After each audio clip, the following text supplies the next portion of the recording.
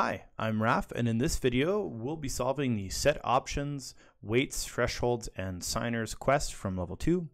In this quest, you're going to have to make a quest account part of a multisig, and then send a transaction with all the required signers. So we're going to need our quest wallet, a second wallet, and a third wallet.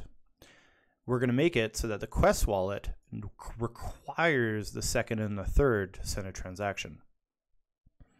To do that, we're going to make the Quest wallet have a master weight of one.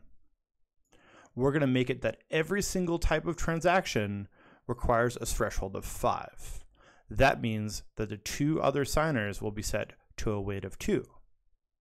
So together, 2 plus 2 plus 1 equals 5, meaning together all three meet the threshold and can submit transactions together. Okay, so to do that, let's go Stellar Lab and let's go to fund our key pair. Let's go copy our public key and our secret key. And let's head over to the lab. And we need two more wallets. So let's go and create a key pair. Let's go and fund it. Uh, go, and document our secret key. And let's get another one here. And our public and our, oh, sorry, let's go find that. And our secret. Okay. So let's go build a transaction. First thing we're going to do is our source account, which is our Quest wallet. Our, our source wallet, let's go fetch our next sequence number. And into set options, we're going to put our master weight is going to be 1. Our threshold together is 5. That makes, this makes it that the weight of all the signers needs to add up to 5 to do low security um, uh, transactions, medium transactions, or high security transactions. Okay, and uh, let's select, um, actually, let's just go add an operation. And then here, let's go and add another set of options. And here, we're going to scroll down and add a required signer. Uh, we're going to set it to this type of public key and this is our second wallet. And they are going to have the power of a weight of two. Let's go add another one. Our third wallet. Okay and that's going to be set options. Uh, ed 25519 public key. Paste that in there. And it too has uh, weight of 2. Okay, let's go and submit this to the network.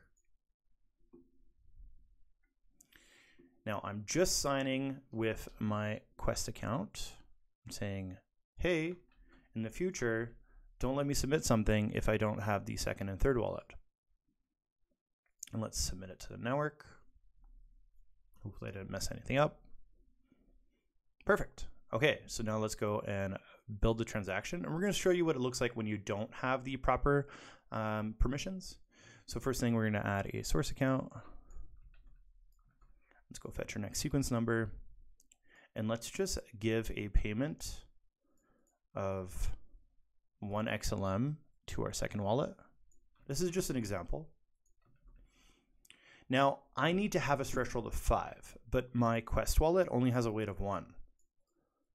So that's no good. So let's go and submit it and let's see what happens. And submit the transaction to the network. Boom, bad auth. That means I don't have the permissions to submit this.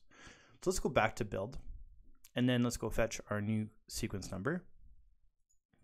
Okay, now we're gonna send 100 XLM to our second wallet and this time in my transaction signer, I'm also going to add my two other secret keys from my second wallet and my third wallet. And you can see below that um, it says three signatures added, which is what I want.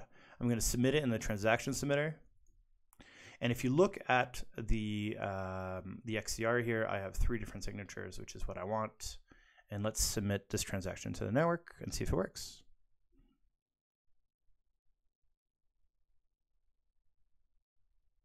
and boom so that worked. Um, and the reason why is because together the weight the second wallet has a weight of two the third wallet has a weight of two and with the quest wallet it is a total weight of five which meets my threshold and sends a transaction.